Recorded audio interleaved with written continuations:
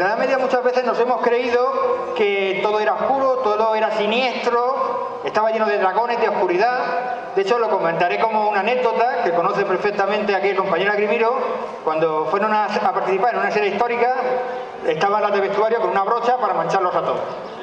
Yo le decía, así no es, no, no, hay que mancharlos a todos con una brocha. Y así era todo el mundo sucio, cuando los que vemos miniaturas de la Edad Media vemos que está lleno de gente bañándose en toleres. Y si hace frío, pues se calienta el agua y te das con un paño y te, haces unas friegas. Es tan sencillo como eso. Bien, lo que, vamos a hacer, lo que vamos a hacer hoy en día es hacer un pequeño vistazo rápido sobre cómo era realmente la Edad Media, concentrando mil años de historia en aproximadamente una hora y media, más o menos.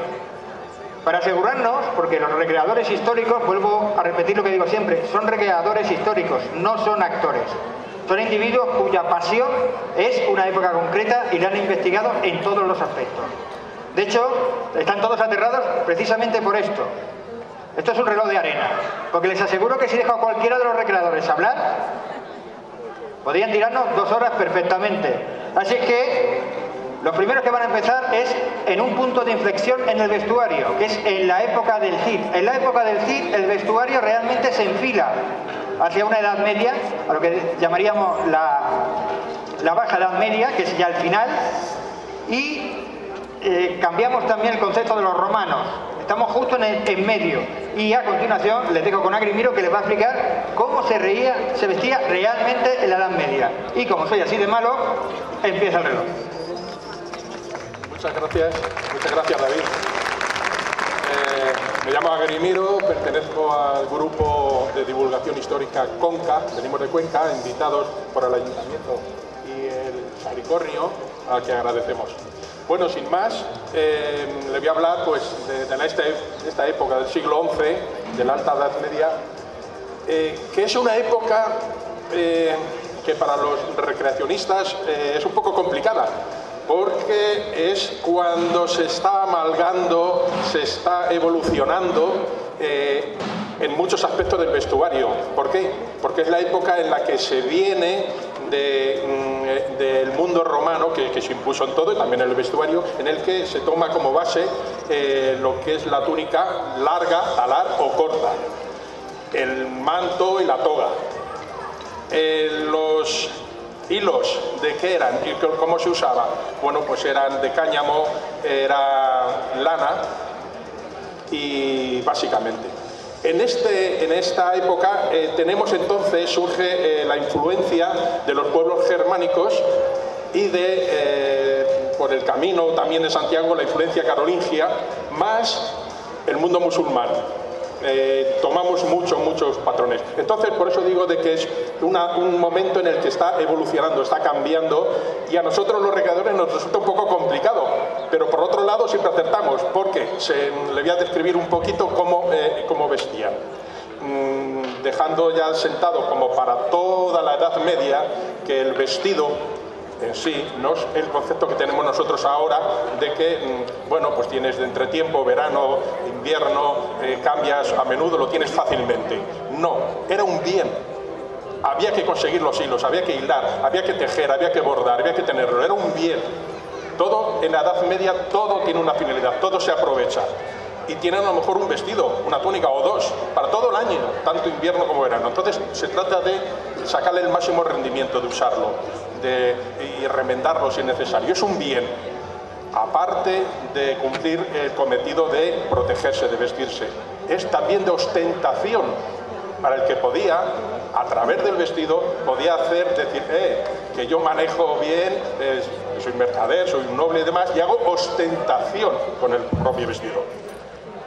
Eh, con los tintes también el pueblo llano conseguía tintarlos, porque todavía hay que hacerlo, con lo que tenía a mano, con las raíces, con vegetales, con minerales machacados, y los nobles o los que podían permitírselo podían conseguir tintes importados en el que conseguían colores intensos o colores que estaban eh, complicados, el rojo, el azul y demás. Eh, todo eso es ostentación. Eh, el tiempo, uy, rápido va. Bien. Vamos a ver cómo, cómo vestían. general, en esta época pasamos, como digo, del mundo antiguo a esta época, pero eh, se trae un, la ropa eh, tapa el cuerpo. Igual que los romanos tenían mucho y se, veía, es una época en la que por influencias de la religión, tanto el cristianismo como los musulmanes, se tapa el cuerpo. No se deja prácticamente nada a la vista, excepto la mano y el rostro, la cabeza y los vestidos son anchos, no, no ves la figura, las curvas del cuerpo.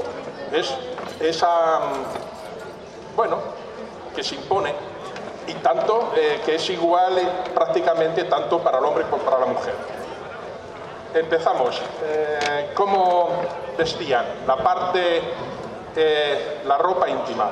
Bueno, se impone en este momento, en, estos, en esta alta edad media, una influencia que viene nueva de los países germánicos. Es el calzón. El calzón, los calzoncillos, las bragas, calzón o braga, mostrar. La parte eh, cae hasta la altura de la rodilla, es eh, de color crudo. Eh, tiene aquí unas cuerdas que ahora se lo explicaré para qué sirven. Y la otra prenda es la camisa. La camisa que viene mangas, todo largo. En esta, con este calzón y esta camisa, eh, que tampoco lo tenían en el mundo eh, romano, sino que viene después, es de influencia andalusí, de influencia mora, la camisa, la camis, le llamaban ellos. Ir de esta forma, vestido, salir a la calle, a nadie se le ocurría, porque es, tal como lo describen, es ir desnudo. Calzón y camisa es ir desnudo. Nadie que estuviera en sus cabales podría salir así a la calle. Bien, ¿qué nos ponemos encima? Se ven en las iluminaciones, los grabados, en relieves y demás, que se impone el pantalón. Es una otra novedad, eh, traído de los países germánicos. El pantalón viene, se ven una variación y otra, pero digo, por eso digo que es muy, muy, muy variado. Hasta la rodilla se abrochan, hasta debajo de la rodilla, se llaman femoralias, y hay otros que llegan hasta abajo, hasta el pie, los tubrucus. Eh, se ven de este modelo y se ven de otro. pero al poco se impone otro modelo también, que son las calzas. Las calzas, bien independiente para una pierna y para otra, caen desde la cintura hasta la punta del pie, como un leotardo, independiente para una pierna. Se abrochan con unas cuerdas al calzón para que no se caigan. Hay iluminaciones en verano en las que se ve que se enrollan hasta la rodilla y se sujetan para que no se caigan. Esto es tanto para la mujer, que lo lleva hasta la rodilla, como eh, para el hombre, que lo lleva hasta la cintura. Eh, bueno, ya no me acordaba, hay una, hemos hecho una, eh, lleva su camisa hasta abajo, igualmente, y de las prendas interiores hay unas descripciones que lo he leído en, varias descripciones allí, en la esquina que dicen, no hay iluminaciones, hay reflejos, pero sí hay crónicas. Y nosotros lo hemos hecho. Dicen que para ir más a aliviarse, pues las mujeres podrían llevarlo abierto. Es el calzón, tanto para la mujer como para el hombre. Es el calzón del hombre, lo lleva la mujer y lo lleva abierto por comodidad. Para ir más, más rápido, hacia abajo.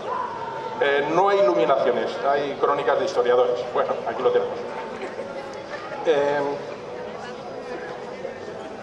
túnicas. Las túnicas hay dos tipos, una larga o talar hasta los pies, que normalmente lo llevan religiosos o nobles, porque no hacen unos trabajos que les requiera ir cómodos, excepto cuando montan a caballo, y las túnicas cortas. Las túnicas cortas para personal, eh, gente más eh, laboriosa.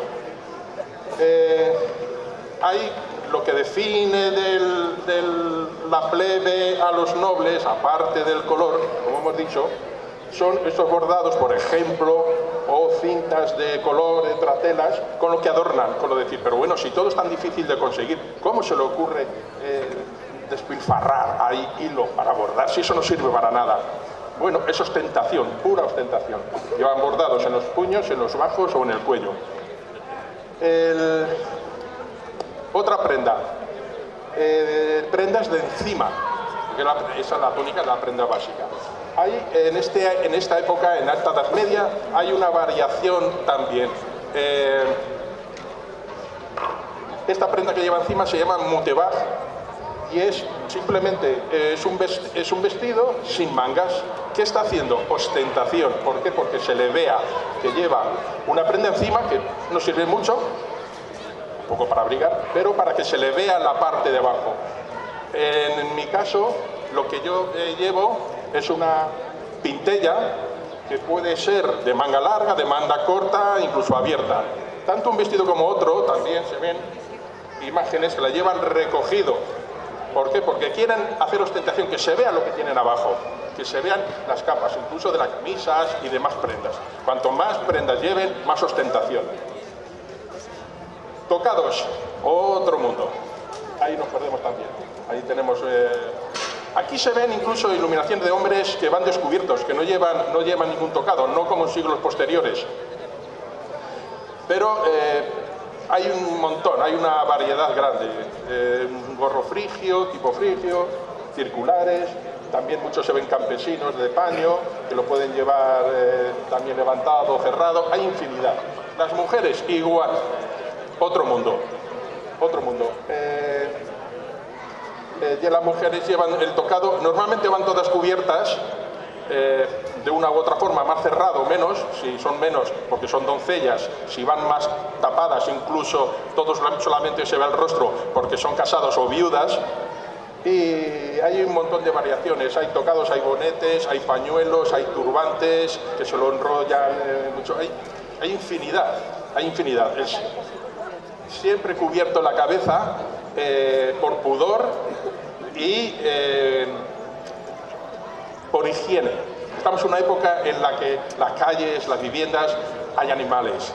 Hay cabras, vacas, mulas, ovejas por todos sitios. ¿Y con ellos qué hay?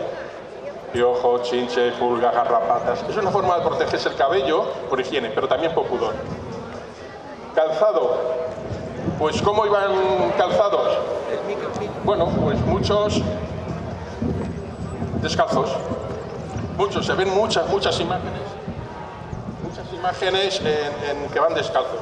Y luego, pues cada uno con lo que podía pagarse, podía conseguir. La gente sencilla, pues simplemente unas sandalias prácticamente para protegerse la planta del pie, la tenía muy endurecida, ¿eh? no como nosotros que nos pinchamos con todo. Eh, si, abarcas eh, o de cáñamo, o si con el cuero, que estaba fácil de conseguir, tenemos, pues eso, abarcas, sandalias, y zapatos, zapatos como tenemos. Eh, también había botines que protegía el tobillo para montar a caballo. Era lo genérico. No solía haber eh, botas altas, no.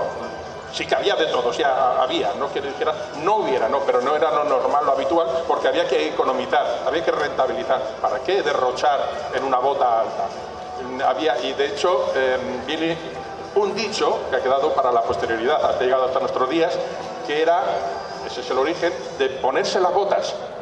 pues se fue a comer, no sé qué, se puso las botas, no sé qué, se puso las botas. Eh, ostentación, ponerse botas, era porque esos señores que podían permitírselo, hacían ostentación con el calzado y llegaban hasta la rodilla. Era pura ostentación, no servía para nada. Con que te proteja el tobillo, suficiente, ¿no? Cuando salía al monte. Eh, bueno, cuando tenemos Sí, hace mucho frío, venga, cuando llega el invierno, porque el vestido era igual para invierno que para verano, bueno, se podían proteger con alguna forma, se podían cubrir. Eh, tenemos por una capucha, una capucha que es, muy práctico, porque eh, con esta capucha, este hot, eh, te cubres la cabeza, que es donde se pierde mucho calor, y los hombros, la parte de, y el cuello, y el cuello, o sea, te abriga. Bueno, eso se, se ve mucho. En esta época tenemos el pico reducido. Luego, según pasan los siglos, se va alargando, alargando, alargando hasta hacerlo ya de ostentación y para decorarse. Tenemos eh, como no, el balandre. El balandre este es, eh, como, un, eh, como una capucha, pero mayor, te tapa. Es cuando empieza, cuando hay noticias en este siglo XI de su existencia, que luego se desarrolla mucho en el XIII. Se ven a todos los campesinos, todos los pastores con esta prenda. Aquí es cuando inicia, cuando iniciamos. Igual es simplemente pues como eso, pues para adelante te cubre el pecho, te cubre la espalda y, el, cuello. eh, se me pasó por alto decir eh, que esta prenda, el mutebaj, es el inicio de lo que luego se desarrolla mucho y se queda estabilizado ahí en el siglo XIII del, del peyote. Del peyote que es mucho más estrecho, sin mangas y se estiliza. Lo llevan otros compañeros por ahí. Es, esos son los orígenes. El siglo XI es que te da juego para todo, casi no te equivocas. Dices, ¿cómo voy a ir al vestido? O no aciertas, no aciertas porque te da muchas posibilidades, o si lo haces, mm, lo llevas. Es también cuando se incorpora a lo que dije, que venían del mundo antiguo, eh, del cáñamo, del lino, de la lana, se trae desde Oriente a través de los andalusíes, de los moros musulmanes, se trae otras prendas eso había que pagarlo. El algodón, ¡oh! ¡Qué ostentación! ¿Quién lo podría vestir? Decir, yo tengo algodón. El algodón era un artículo de lujo. Y ya la alta, alta nobleza, los reyes y demás, algo lo nunca ha visto. Incluso si no tenemos algún manto, lo, lo guardado Seda, madre mía del amor hermoso, la seda, pero ¿a quién se le ocurría vestir eso? Y además con esos dibujos, con esos bordados, con esos estampados, era pura, pura ostentación. Eso se viene incorporando también ahora y se desarrolla luego y ya se queda mm, como, ya en el siglo XII y XIII, ya casi la forma de vestir es más, está más unificada, hay poca variación. Aquí en el siglo XI es un mundo. Bueno, seguimos con el frío. Esta mañana hacía frío. ¿Qué me pongo? Bueno, pues ah, tenemos un manto circular que igual que esta prenda del Mutebach, que, eh, eh, es hispano, que luego se desarrolla y se lleva a, Europa, tenemos otra prenda de abrigo que es hispana, es de aquí, que es un, es un, manto, un manto circular que es un poco más corto por delante y un poco más largo por atrás. Eh, no llega a la cintura. Este es solamente había crónicas. Y luego tenemos otros mantos muy, muy difundidos. Hay eh, un manto rectangular, simplemente pues un paño, es rectangular, te lo metes por, un lado, por otro y lo abrochas lo sujetas con aquí la altura del cuello con una fíbula, ¿eh? una especie de botón imperdible, con una fíbula. Bueno, pues se tapa, te deja una parte libre, normalmente se dejaba libre la parte de la izquierda, que es donde se lleva el arma, no, al revés, meto la pata. La mano que la maneja, la que queda libre, el lado de la que maneja, Y luego tenemos la capa. Igual que hemos dicho el manto, la capa lleva capucha. Esta es típica de las capuchas de eh, los campesinos, o pastores o mujeres.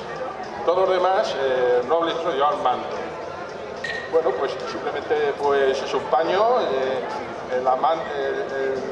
se cierra con unas cuerdas y me parece que me vienen amenazando bueno, casi...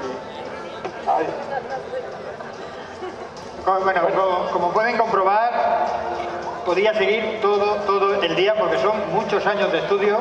Despídete del público. Bueno, pues nada más. Eh, muchas gracias por su atención y a seguir disfrutando del evento. De todas maneras, les recuerdo que están aquí, así que si quieren hacerle más preguntas, pueden hacérselo de sobra. Sí, esto es un poco canalla, pero créanme, si alguna vez hacen un evento de este tipo, yo necesitaré uno mucho más corto, se lo puedo asegurar. Sagrimiro, como pueden ver, la variedad es increíble. Hay una cosa que tenemos que tener en cuenta de los tintes. Siempre decimos, no, los tintes eran oscuros. No, el tinte más barato es el tinte que se llama de nogalina, el marrón, es más barato. Pero realmente la gente normal podía hacer cualquier tipo de tinte. ¿Cuál es el problema? Que el tinte barato, en cuanto el sol le da una semana, se oscurece. Los tintes caros pues pueden aguantar meses y meses. Y encima, si estás en un castillo, te aguantan más todavía. Hay una cosa curiosa que ha dicho que es desde la ruta de la seda, nos traen seda, nos traen algodón y nos traen otras muchas cosas.